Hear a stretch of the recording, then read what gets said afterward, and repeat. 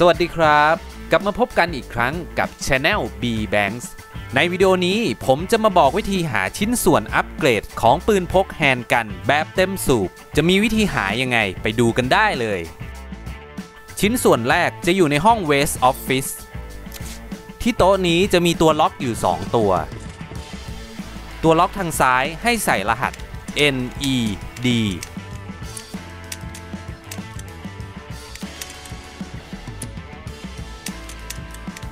แล้วก็กดปุ่ม Confirm นะครับ ยังมีตัวล็อกอีกตัวตรงนี้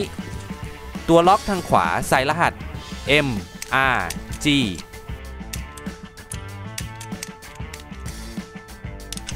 ปลดล็อกเรียบร้อยทั้ง 2 จุด แล้วก็กดสำรวจที่โต๊ะได้เลยครับ เราก็จะได้แมกกาซีนแบบยาวมานะครับ ทีนี้เราก็จะเอาชิ้นส่วนไปอัปเกรดให้กับปืนพก กดเลือกที่ชิ้นส่วนนะครับ แล้วก็เลือกคำสั่ง Combine แล้วก็ไปเลือกที่ปืนพก อัปเกรดเรียบร้อยครับ ไปต่อกันที่ชิ้นส่วนที่ 2 จะอยู่ในห้อง Waiting Room ที่ชั้น 2 ของสถานีตำรวจ เดินอ้อมไปด้านหลังเคาน์เตอร์ จะเจอตู้เซฟตรงนี้นะครับ ให้หมุนรหัสตามนี้นะครับ หมุนซ้ายไปที่เลข 6 แล้วก็หมุนขวาไปที่เลข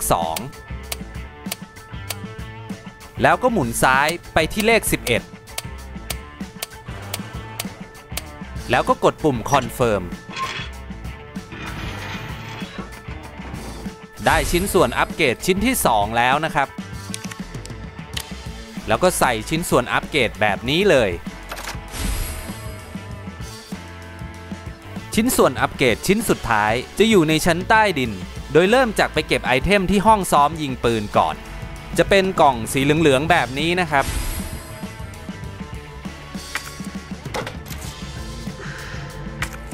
พอเก็บมาแล้วก็ให้กดสำรวจกล่องดูนะครับ หมุนดูแล้วก็กดเปิดกล่องขึ้นมา จะได้กุญแจรถตำรวจมานะครับ ต่อไปเราก็จะไปหารถที่ใช้กุญแจนี้นะครับ ให้เราไปที่ลานจอดรถตรงนี้ ให้เราเดินเข้าไปใกล้กับรถคันนี้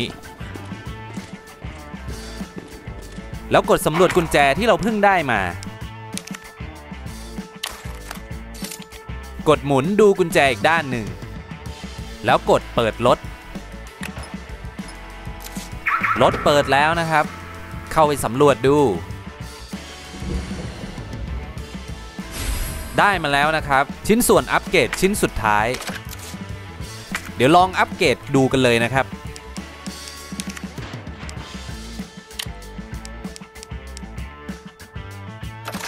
นี่นะครับ ปืนพกอัปเกรดแบบเต็มสูบ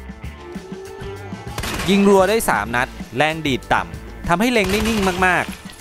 ๆ เป็นยังไงกันบ้างครับ กับวิธีหาชิ้นส่วนอัปเกรดปืนพกแบบเต็มสูบ ถ้าถูกใจก็อย่าลืมกดไลค์และกด Subscribe เพื่อติดตามวิดีโอแนะนำเทคนิคและทริคดีๆ จากเกมใหม่ ๆ ได้ที่ช anel นี้เลยครับ